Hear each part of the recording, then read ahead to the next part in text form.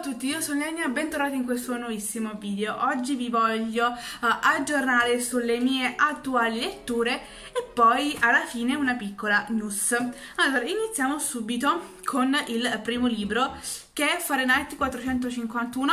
L'ho appena iniziato, ho letto le prime 10 pagine praticamente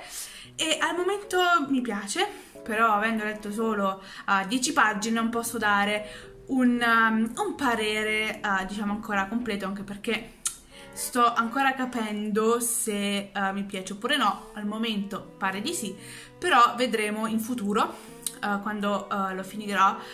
e come si evolve la storia, la scrittura, eccetera, eccetera. Eh, però ne sento parlare veramente benissimo e avendolo già in casa perché mia sorella l'aveva comprato e quindi ho detto vabbè ora ce l'ho e quindi ora ne parlano tutti bene quindi è il momento, uh, è giunto di leggere questo libro quindi vedremo, vi farò sapere in futuro cosa, cosa ne penso di, di, questo libro perché ovviamente ho intenzione di fare anche una recensione su questo, uh, che sia positiva o negativa, uh, vorrei farla, ci tengo a, a farla che sia comunque sul canale. Poi purtroppo ho ancora in lettura il terzo volume eh, del Trono di Spade di Martin. In realtà eh, ho, ho, continuato a leggere dall'ultima volta eh, che ne ho parlato sul canale, però purtroppo eh, una cosa o un'altra poi eh, ho dovuto eh, lasciare. In realtà lasciare no, però eh, andando molto a rilento questa lettura, nonostante mi stia piacendo un sacco, poi capite che io ho questa edizione eh, grandissima, eh, come la maggior parte eh, delle persone, dei lettori comunque hanno questa edizione, quindi eh, mi potete, mi, potete, capire eh, se non riesco a finirlo.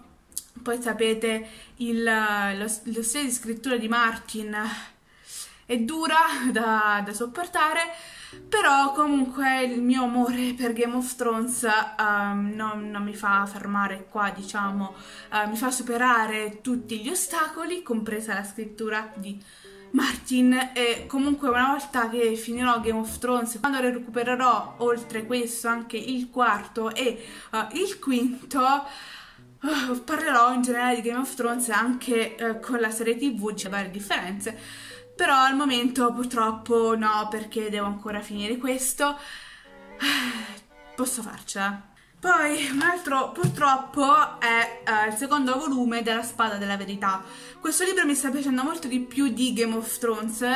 eh, però, piccola precisione ovviamente, uh, Game of Thrones è la mia serie tv preferita, serie di libri anche, però devo dire che uh, La Spada della Verità io ci sono più affezionata per tantissimi motivi. Questo è un pochino peggio di Game of Thrones perché Game of Thrones alla fine sono 5 libri di mattoni, questi sono 11 mattoni di questo genere e un'altra differenza è che Game of Thrones, i mattoni, sono diciamo più libri insieme, due o tre libri insieme, questo invece è una sola così grande. che fortuna, eh? Però devo dire che questo si legge molto più facilmente di Game of Thrones. E mi sta piacendo tantissimo e sto notando tantissime differenze tra il libro e la serie tv che purtroppo ha solamente due stagioni quindi io dei primi due effettivamente qualcosa già sapevo però dal terzo in poi non so più niente. Quindi io non vedo l'ora di finire il secondo volume uh, di cui conosco bene o male la trama uh, causa seconda stagione della serie tv appunto e, e cominciare il terzo e eh, proseguire questa avventura con Richard e Callan perché non vedo l'ora di scoprire cosa eh, succederà ai due dopo uh, la fine del secondo. News uh, del secolo, finalmente comprato Storia della bambina perduta di Elena Ferrante, quarto e ultimo volume della serie dell'amica geniale. Non ancora l'ho letto, non avendo avuto tempo, proprio zero. Però intanto ce l'ho e appena uh, mi regolizzo un attimo uh, inizierò assolutamente questo libro. Elena Ferrante ha uh, uno stile molto leggero, non leggero però non è tutta questa complicatezza in realtà il suo stile di scrittura quindi si legge abbastanza fluidamente e poi ha una storia davvero interessante quindi eh, c'è sempre eh, o quasi sempre spesso diciamo dei colpi di scena quindi alla fine eh, ti costringe a stare sul libro a leggere a continuare a sapere cosa succederà Ovviamente per le recensioni che io avevo promesso per il mese di settembre arriveranno un pochino in ritardo perché non avevo previsto alcune cose che mi hanno fatto tardare tanto la lettura di questo quarto volume, ma non vi preoccupate perché eh, arriveranno ad ottobre con tantissime sorprese perché il mese di ottobre credo che sia il mese più difficile ma anche più produttivo per il canale e io sono felicissima di voler intraprendere uh, dei progetti che ho in mente che ancora in realtà vi svelo. Il primo in realtà è questo quindi portare uh, una recensione a settimana uh, ogni settimana ovviamente dedicato a un libro della Ferrante in particolare del, dell'amica geniale insomma. Poi ci saranno delle cose interessanti una ve l'ho già accennata per quanto riguarda uh, le serie tv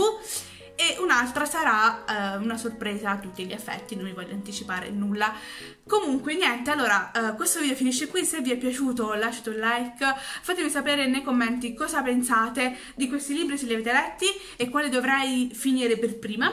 E, e niente, fatemi sapere cosa uh, state leggendo, quali libro state leggendo e iscriviti al canale per non perdere nessun altro video, attivate la campanellina e noi ci vediamo alla prossima. Ciao!